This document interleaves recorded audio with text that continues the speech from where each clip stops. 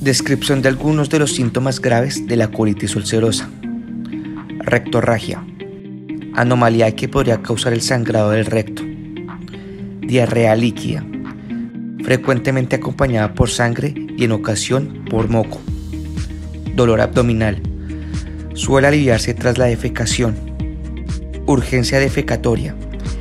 Deseo imperioso de evacuar que disminuye hasta que se va al baño. Tenesmo rectal sensación de no haber evacuado completamente.